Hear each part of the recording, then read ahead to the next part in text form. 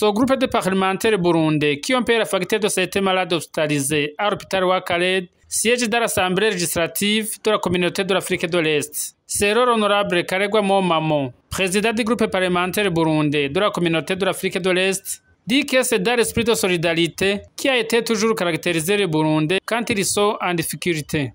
Selon ces élites du peuple, pensé aux malades hospitalisés à l'hôpital Wakared, surtout que les Burundais célèbrent la semaine dédiée à la solidarité nationale. Comme vous le savez, euh, le gouvernement du Burundi a mis en avant euh, l'esprit de solidarité ici dans le pays en général.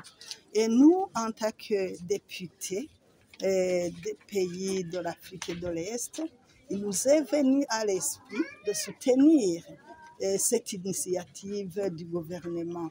Et puis, nous avons décidé euh, de cotiser ou bien de mettre ensemble une petite, une très petite somme pour venir en aide à ces gens qui sont ici à l'hôpital Roi Kared, qui sont euh, un peu guéris et qui ont manqué les frais d'hospitalisation.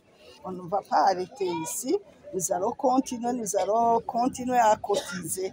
Et quand nous aurons une autre somme comme celle-ci, nous allons revenir ici ou bien aller dans d'autres hôpitaux.